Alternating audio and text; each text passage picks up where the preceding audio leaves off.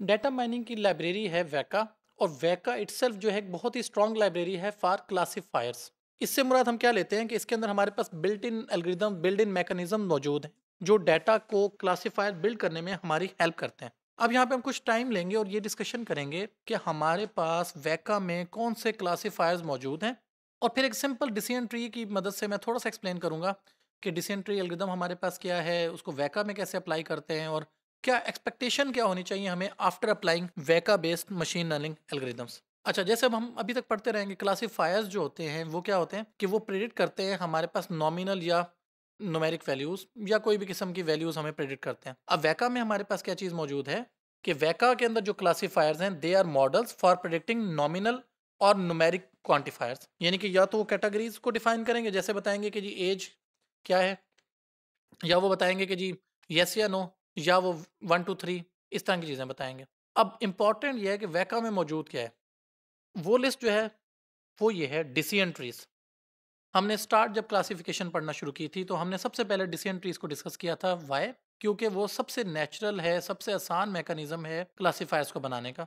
Instance based classifiers हमने देखे, sport vector machine हमने देखी, न्यूरल नेटवर्क्स में से मल्टी लेयर परसेप्ट्रॉन्स हमने देखे, logistic regression, Bayesian nets, and the list goes on. इसका मतलब ये है कि अगर मैं ये कहूँ कि वैका के अंदर हर किस्म का क्लासीफायर मौजूद है तो ये स्टेटमेंट गलत नहीं होगी।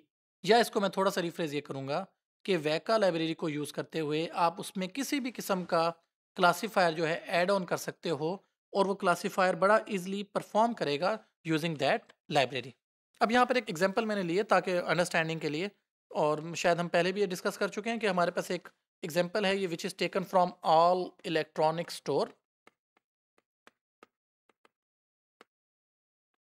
और कर क्या रही है? मल्टीपल कॉलम्स हैं as income student credit rating और बायस कंप्यूटर प्रॉब्लम हमारे पास क्या है कि हम डिसाइड करना चाहते हैं कि एक बंदा, एक स्टूडेंट जो मे बी स्टूडेंट है या नहीं, जिसकी एज थर्टी से नीचे भी हो सकती है फोर्टी से ऊपर भी हो सकती है उसकी इनकम हाई, लो, मीडियम हो सकती है, क्रेडिट रेटिंग फेयर, एक्सीलेंट हो सकती है, वो कंप्यूटर बाय करेगा या नहीं? अब क्या आपने करना है? आपने इस फ़ाइल को पकड़ना है और इसको ए फ़ाइल में कन्वर्ट करना है। इसके साथ ये इसके लेबल्स हैं, ये सारे ए फ़ाइल में जाएँगे।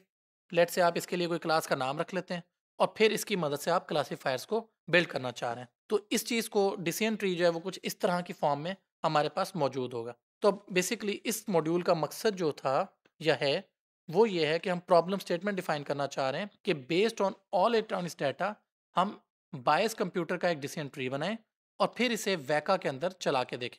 तो अब आपने करना क्या है, मैं अभी आपको नेक्स्ट स्लाइड में बताऊँगा अभी सही कि क्लासीफायर हमने कैसे रन करना है, वरना आप बड़ा इजीली समझ सकते हैं कि जो हमने वैका की आपको जीयूआई दिखाई थी, मैं दोबारा रिपीट कर देता हूँ वैका की जीयूआई जो उसकी एक्सप्लोरर के बारे में थी, उसके अंदर हमने आपको क्लियर छः टैब दिखाए थे छः टैब्स थे। उनमें से जो सेकंड टैब था, वो क्लासीफायर का था। उस क्लासीफायर के टैब में आपने जाना है।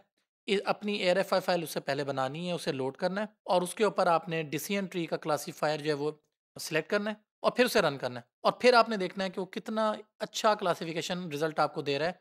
क्या वो इसी तरह के ग्राफ्स बना रहा है या नहीं बना रहा? तो ये आपकी एक छोटी सी असाइनमेंट है जो आपने करके देखनी है।